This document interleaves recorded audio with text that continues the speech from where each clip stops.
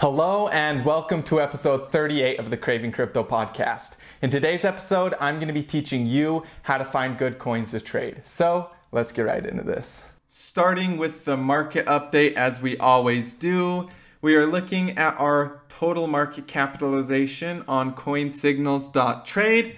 And we are still predicting that we go for the $240 billion levels. So let me just point out a few things making me believe that is what we are doing. So, first of all, the price is bouncing very clearly off these support levels. I'm going to delete these arrows temporarily. We can bring them back in a second.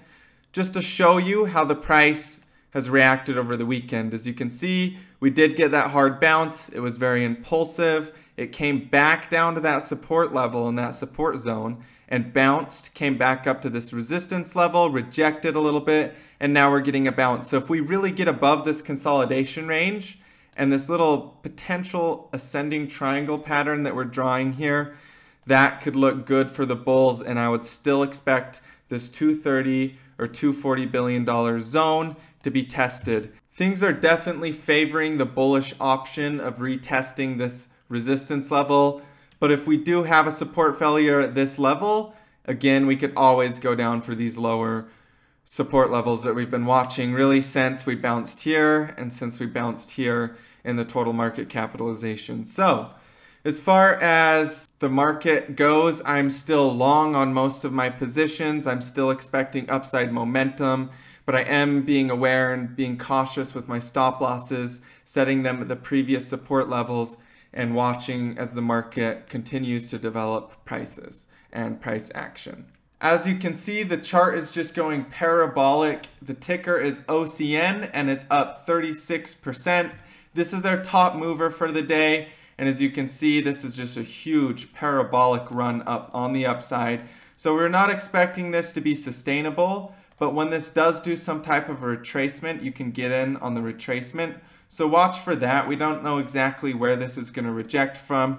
You can use previous resistance levels in the past to get a better idea of that. Headed over to the one week, you can see that there was some resistance in these areas in the past. So maybe we start to get rejections off of these levels as we go up and as we continue to rally. So that's kind of what I'd be watching for with this one. It's going parabolic and if you really want to play this coin, you have to get in on a retrace. You don't want to be buying anything that's going up like this. When you get this type of a move in a market, you wait for the rejection and then you can start to draw your Fibonacci retracements. So as this goes up, maybe the price hits 2 cents or 2.5 cents and then starts to reject. And that's when you can start to draw your Fibonacci retracement. You go from the low to the high. You come over here on the left hand and you grab your fib tool and then you start to project the levels that you can aim to ladder in at and buy these support levels and expect it to return to its upward trend if this does continue to see upward movement throughout the rest of the year. So that's why you can always use your fib retracement and wait, be patient for the cycle to play out so you can get a better picture of what's coming and you don't get stuck on the wrong side of this trend before it gives you a clear buy signal. So today's subject matter is how to find good coins to trade. So we're just going to use coinmarketcap.com to actually utilize all of its rankings, its volume tools, and its trend tools based on 7-day and 30-day analysis so you can get a better picture of really how to hop on your computer at any point in time and look at these coins and shift through them and figure out what ones you want to trade to get good profits. So the first thing I like to check is the 30 day volume. So you head over to rankings and then click on 30 day volume for the coin market cap coins and it will place all of them in the ones that are averaging the highest volume.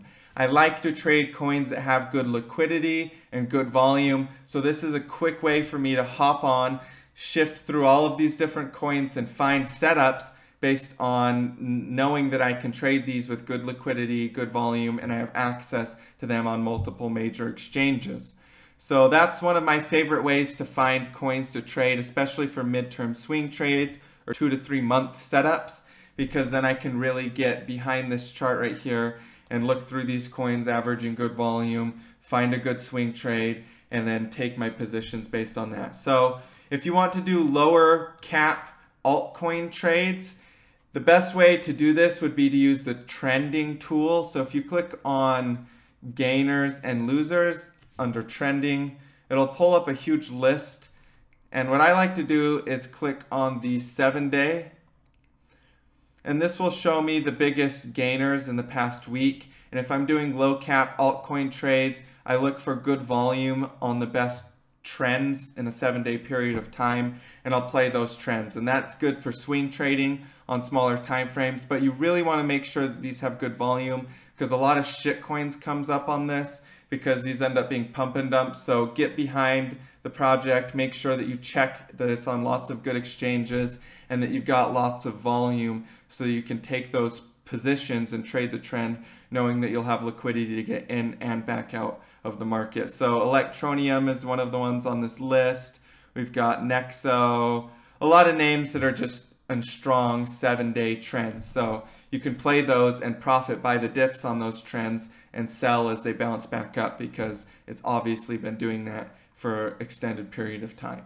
The coin that we are just talking about is actually on this list. This one is up a lot today, so you really wouldn't want to be FOMOing into this. You could do some type of scalping or short-term swing trades, but I really wouldn't recommend it. A better one to be trading on this list is going to be one that's up a good percentage in the last seven days, but not up too much to the point where it's going to be overvalued on the short term. So maybe if you come down and you find one that has a high volume like Nexo, and we go check out its chart, it's actually up about 27% in 24 hours as well. So this one may not be a good one. So you just kind of shift through these, these charts, right, and find a good one.